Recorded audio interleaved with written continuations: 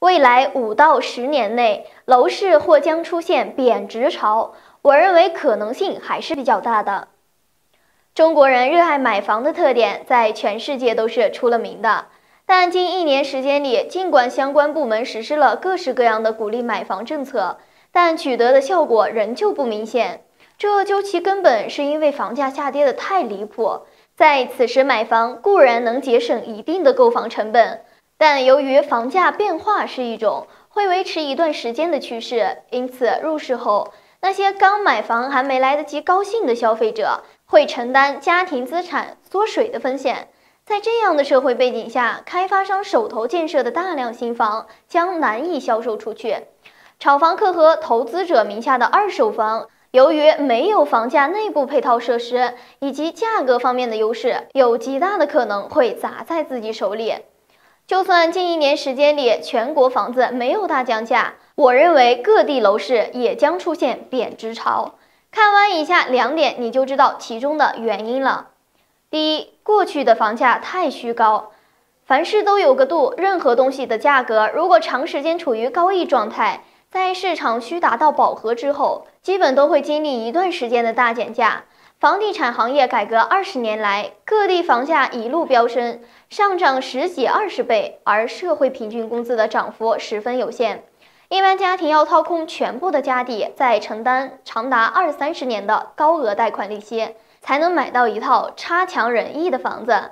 现在我国城镇家庭的住房拥有率已经超过了百分之九十六，农村地广人稀，有完善的福利保障体系，基本家家户户都属于自己的宅基地。在房住不炒的政策的全面贯彻下，有房一族有的住，即使再能享受优惠，也不想卖。无房者中的一部分人积蓄完全不足，基于这样的社会现状，房子升值的可能性极低。在有些人口流入量低的地区，住宅基本连基本的保值都做不到。第二，住宅数量供过于求，二手房出现，有业内人士根据现有数据进行了一个大致预估，得出现阶段我国控制房总量已经超过一点二亿套的结论。新房方面，在国家三道红线政策的影响下，广大开发商的融资渠道相较之前减少了不止一星半点。为了能促进回款，在能力允许的情况下，房企都走上了积极建设新房的道路。毕竟，人们的住房需求无论何时都不会消失。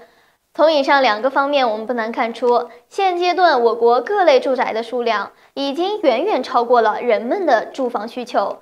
根据价值规律中需求多少影响价格高低的法则来看，贬值潮会来的概率相对而言还是比较大的。其实反过来想想，现如今我国通货膨胀的速度如此之快，因此大家也没有必要矫枉过正，趁着当下能享受一定的优惠福利，选一套自己中意的房子，也是好事一桩。行业出现两大变化，共同证明楼市即将触底。想买房的家庭要注意，去年的现在，我国房地产行业罕见遇冷，期间相关部门实行了五花八门的救市政策，但取得的效果都不甚明显。时至今日，全国一百个大中小城市的房价还没有真正的上涨，这对各大楼市主体而言，无疑都是一大打击。此时的开发商整体收益率下降。即使一套房子少卖成千上万元，积少成多也是一笔不少的资金。要知道，在我国住房需求逐渐饱和的今天，薄利未必能多销。更何况，广大消费者向来不愿意在房价下跌时购房，炒房客们名下的住宅数量不在少数。这些房子在手头多囤积一天，他们承担的贷款利息就多一分。万一在此过程中，房地税和房屋空置税开始征收，他们还得为此负担更多的释放成本。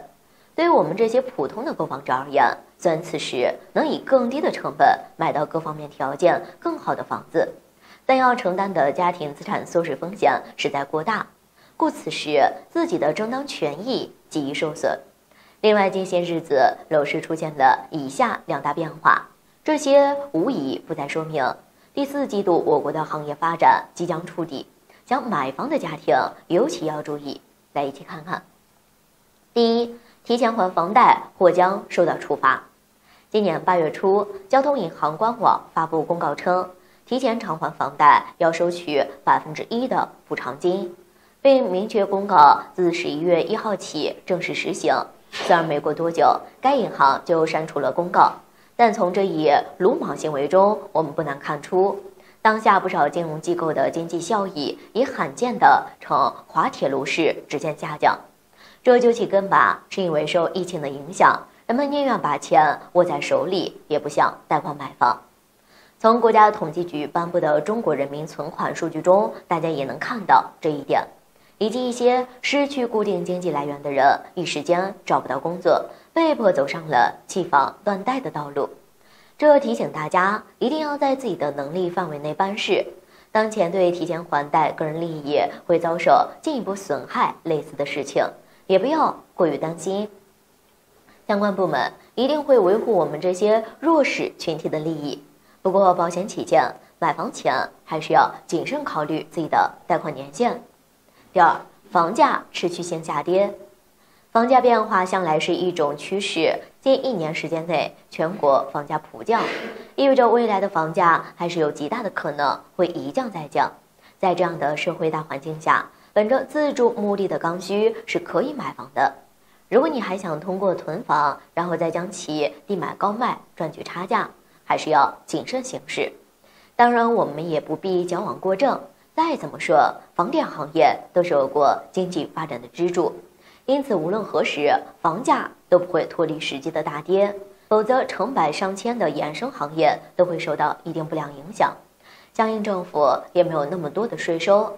这样一来啊，相关部门便缺乏经济底气。为老百姓的生活提供足够多的物质生产资料，有钱人逆向而行，开始买房了。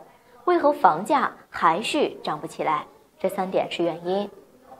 近一年时间里，我国楼市遇冷的状况肉眼可见。在全国房子大降价的今天，人们的买房热情不甚高涨。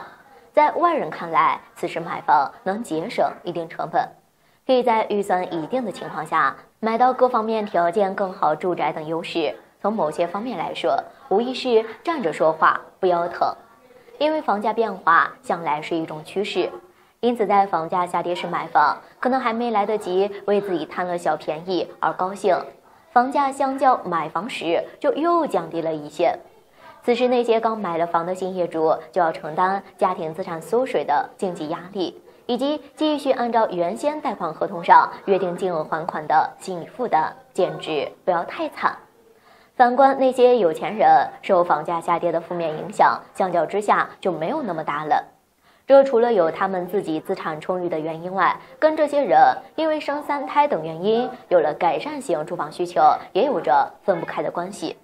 据国家统计局发布的数据显示，当前全国各地豪宅的成交量出乎意料的多。既然大量的资金已经流入了楼市，为何房价还是没有回温呢？看完以下三点，你就懂其中的原因了。第一，不能一概而论，豪宅不等同于全部住宅。事实上，能花几千万买一栋豪宅的家庭，整体数量还是比较有限的。要想促进房价进一步回温，离不开普通家庭的努力。但现在明显，我国空置房的数量已经达到了一点二亿套。各大开发商为了促进回款，还在拼命建设新房，给这些住宅找到出路，才是当前行业应该着重关心的问题。如果有一天社会住房房源得到了更加合理的分配，楼市升温才能变成情理之中的事情。第二，数据造假现象很普遍，数据造假在房地产行业已经成为了一种人尽皆知的事情，尤其是近一年时间里，在楼市全面遇冷的情况下。人们买房的热情本来就不高，如果成交数据在屡创新低，那广大消费者入市的信心和决心将进一步降低。这还只是一方面原因。事实上，很多业内专业人士在对各项数据进行解读时，往往都报喜不报忧，总是将好的一面展现给我们。很多时候只跟上月数据相比较，不与同年的成交量做对比。很多之前对楼市就没有多加注意的人，显然没有用心留意这一点。第三，老百姓的购房观念改变。据相关数据表明，近一年时间里，我国居民的存款总金额呈现的是上涨趋势，贷款金额则创下的历史低谷。房子本身的性质和功能没有改变，发生变化最大的看来只有老百姓的购房观念。一方面，疫情仍旧存在，手里有点小钱的人因为害怕自己的权益受损，所以选择将存款握在手里，不敢轻举妄动，更不敢随便入手房子这样的大件儿。另一方面，在三道红线政策影响下，各大开发商的融资渠道受阻。与此同时，市面上烂尾楼的数量有所增加，进一步降低了人们对房子的预期。这样一来，住宅的成交量自然上不去。